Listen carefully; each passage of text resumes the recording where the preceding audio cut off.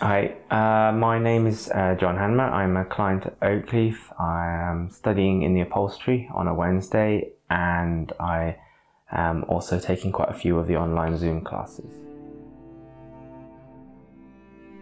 Uh, basically, without most of the online classes, I wouldn't have had a reason to get up during the start of lockdown. Tell us a little bit more about how the pandemic has been for you personally. Well, I was already struggling before the pandemic quite largely uh, due to previous work and overstretching myself to the point where I like to put pressure on myself, but it became rather a self-destructive cycle. Um, then I came and I was introduced here to Kelvin, Georgia, and Annalise, uh, who were the first three that I met face to face, even before yourself. And um, they've all helped me out tremendously. I was lucky enough to do things like get involved in the art projects that they do online uh, with Calypso out in Italy.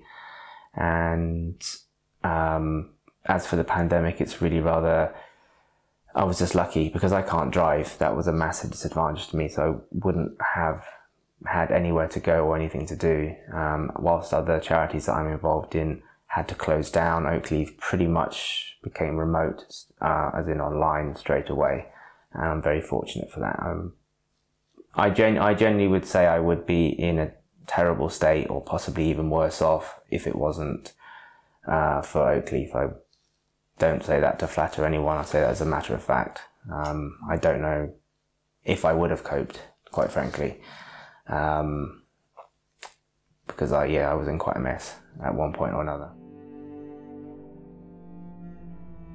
But it, yes, it, it, did reach a stage where I really was struggling and there was no purpose at all, which both in inside and outside of um, lockdown, when Oakleaf was opening itself up a little bit and then closing down depending on the COVID situation, I was a, coming in to do upholstery, for example, gave me a sense of purpose. Um, as well as the social garden I do in Farnham. Again, they gave me a reason to actually get up and do things, as did the online classes, many of which start between 9 and 11 for me, so that was a reason to actually get up, get dressed, and do things. And does the sleep then impact your mental health? Yes, I'm definitely bringing it back to mental health. I have been to a variety of um, mental health classes and practitioners, um, but the the counselling I'm now receiving from Oakleaf has um, been very beneficial and actually allowed me to go into both current and historical areas which I haven't necessarily addressed properly, um, and that's been very beneficial. Um, coming back here has been, um, it's nice to see faces that you've spoken to online. Uh, definitely continues to give me a, sense of purpose. I mean, I was exhausted this morning, really didn't want to get up, but I had to make myself because I have a train to catch. It's not a case of just getting in a car and driving over for me. My epilepsy makes it illegal for me to drive. So I have to be on time to get to the train station. And they've been very good here. I've missed a train possibly once, well, definitely once, possibly twice. And um, they're very understanding. Steve's been brilliant, um, as has Nettie in the upholstery department. And everybody there's always somebody here to talk to even if it's about finances or jobs or anything else. So i really appreciate that.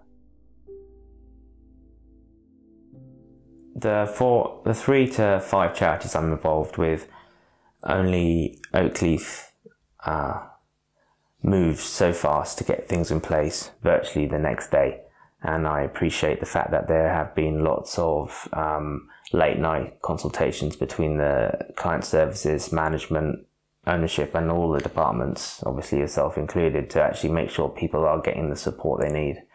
Um, and, you know, I've seen people struggling and I've struggled myself and someone's contacted client services and within the day, same day, somebody calls you up to check you're okay. And that's just very good. And it's, it's just shows, um, a lot of compassion, not just the time that people are here to work, but that people actually genuinely care.